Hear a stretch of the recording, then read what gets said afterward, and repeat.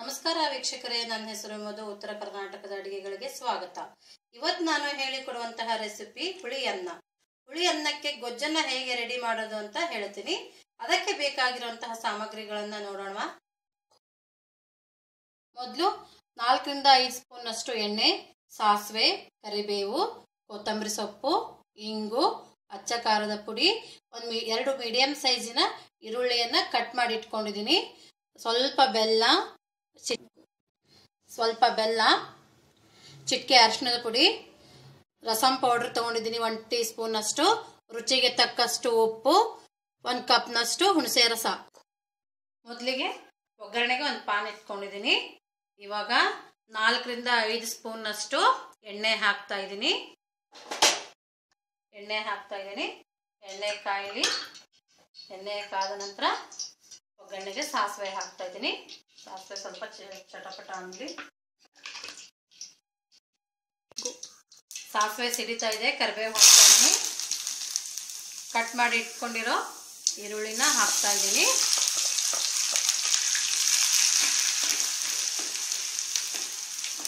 ಹಿಂಗನ್ನ ಹಾಕ್ತಾ ಇದ್ದೀನಿ ಸ್ವಲ್ಪ.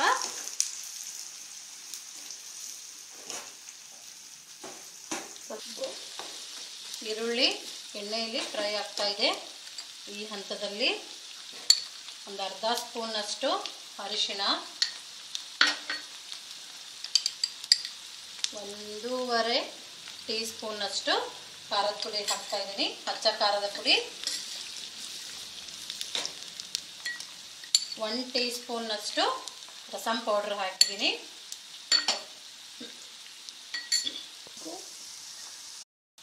ಇವಾಗ ರುಚಿಗೆ ತಕ್ಕಷ್ಟು ಉಪ್ಪನ್ನು ಹಾಕ್ತಾ ಇದ್ದೀನಿ. ಮತ್ತು ಹುಣಸೆ ಹಣ್ಣನ್ನು ಬಿಸಿನೀರಲ್ಲಿ ನೆನೆ ಹಾಕಿ ರಸ ತೆಗೆದಿಟ್ಕೊಂಡಿರೋದನ್ನು ಹಾಕ್ತಾ ಇದ್ದೀನಿ ಇವಾಗ.